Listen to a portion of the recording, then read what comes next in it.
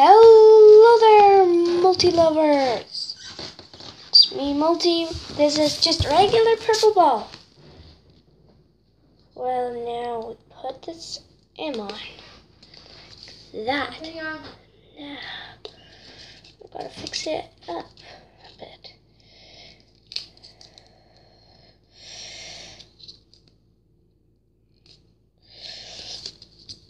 Now that is a master ball.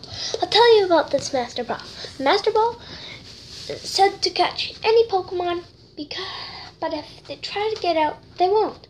They'd be dead because there's dynamite in the master ball. Mini dynamite. Don't put it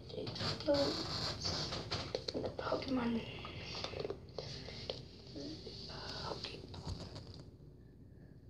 Pokeball or something. Anyway, that's just recognized. This is one cool Pokeball.